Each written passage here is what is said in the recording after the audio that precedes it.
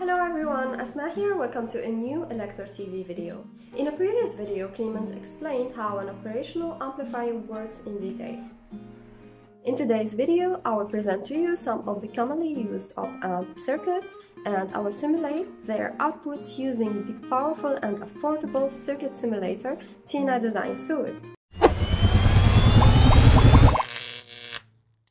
The examples in this video are based on the circuit simulation with Tina Design Suite and Tina Cloud by Dr. Dogan Ibrahim. The book is published by Elektor and you can buy it on the Elektor store both as a printed and ebook version.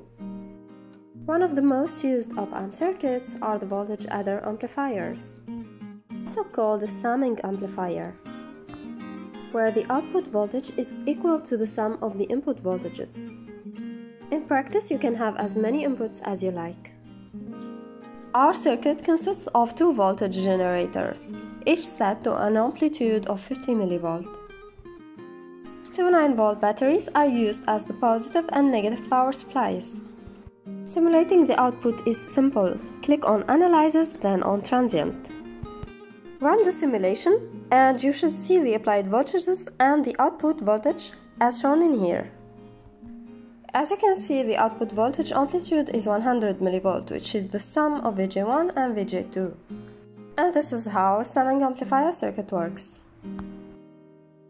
Our second circuit example is a half-wave rectifier circuit. Two diodes D1 and D2 are used in the circuit.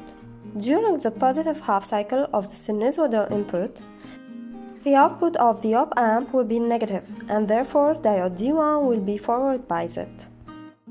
The output voltage of the op-amp will be about minus 0.65 volt and because D2 will be reverse biased, the output voltage will be 0 volts. During the negative half cycle of sinusoidal input, the output of the op-amp will be positive, and D1 and D2 will be reverse biased and forward biased respectively. Run the simulation by clicking on Analysis and then on Transient. Separate the outputs and you should see the applied voltages and the output voltage as shown in here.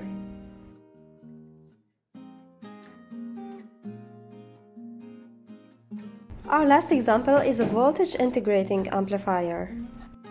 The voltage generator is set to generate square wave voltage with an amplitude of 10 mV. Run this simulation and you will see the applied and the output voltage.